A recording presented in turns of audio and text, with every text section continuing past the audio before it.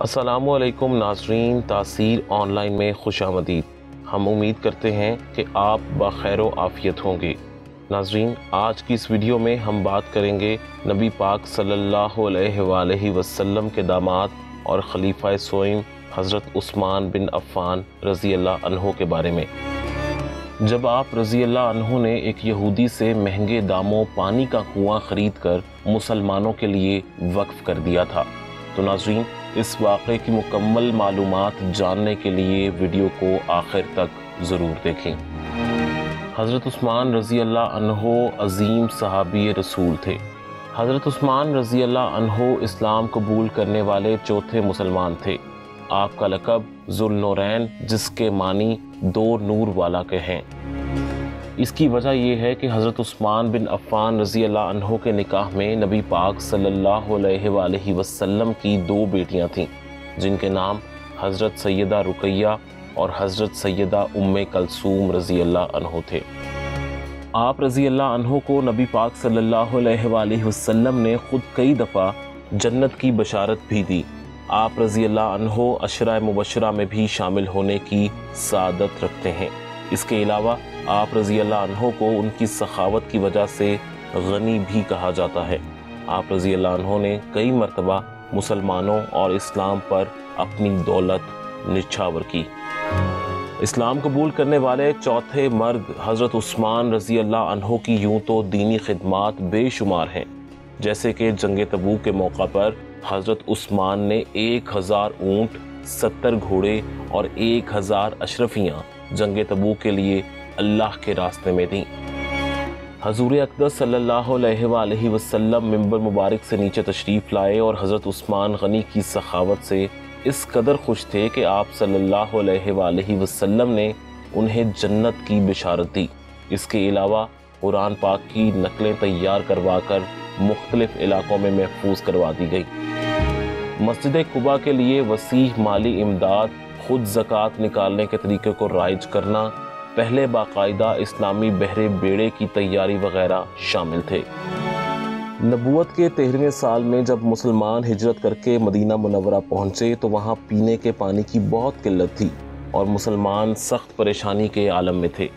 مگر مدینہ منورہ میں ایک یہودی کا کنواں تھا جو مسلمانوں کو پانی مہنگے داموں فروخت کرتا۔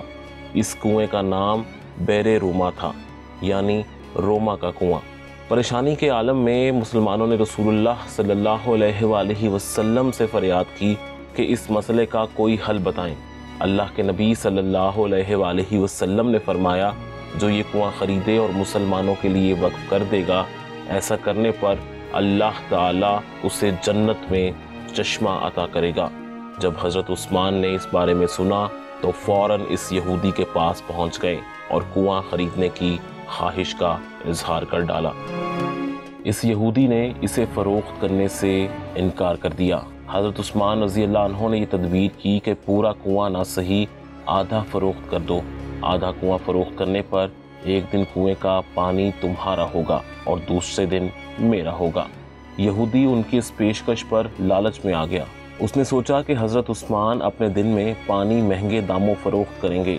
اس طرح اس سے بھی زیادہ منافع کمانے کا موقع مل جائے گا۔ چنانچہ اس نے آدھا کنواں حضرت عثمان بن عفان رضی اللہ تعالیٰ عنہ کو فروخت کر دیا۔ سیدنا عثمان رضی اللہ عنہ نے وہ کنواں اللہ کی رضا کے لیے وقف کر کے اپنے دن مسلمانوں کو کنویں سے مفت پانی حاصل کرنے کی اجازت دے دی۔ لوگ حضرت عثمان رضی اللہ عنہ کے دن مفت پانی حاصل کرتے اور اگلے دن کے لیے بھی ذخیرہ کر لیتے۔ یہودی کے دن کوئی بھی شخص پانی خریدنے نہ جاتا۔ یہودی نے دیکھا کہ اس کی تجارت مان پڑ گئی ہے۔ تو اس نے حضرت عثمان سے باقی آدھا کنواں بھی خریدنے کی پیشکش کر دی، جس پر حضرت عثمان راضی ہو گئے اور کم و بیش پینتیس ہزار درہم میں پورا کنواں خرید کر مسلمانوں کے لیے وقف کر دیا۔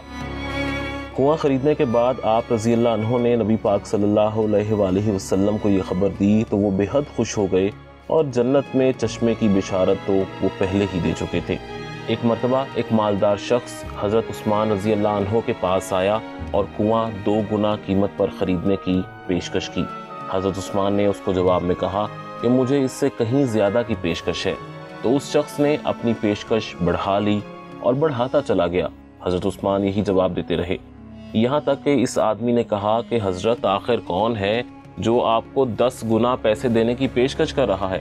سیدنا عثمان رضی اللہ عنہ نے فرمایا، میرا رب مجھے ایک نیکی پر دس گنا اجر دینے کی پیشکش کرتا ہے۔ تو ایسے وہ کنواں حضرت عثمان رضی اللہ عنہ نے کبھی فروخت نہ کیا۔ یہ کنواں تب سے آج تک ویسا ہی ہے۔ اور سعودی حکومت کے وزارت زراعت کے ساتھ آج بھی یہ جگہ حضرت عثمان رضی اللہ عنہ کے نام پر رجسٹرڈ ہے۔ ناظرین، ہم امید کرتے ہیں آپ کو آج کی ویڈیو پسند آئی ہوگی۔ مزید ایسی معلوماتی ویڈیوز دیکھنے کے لیے ہمارے چینل کو سبسکرائب کرنا نہ بھولیں۔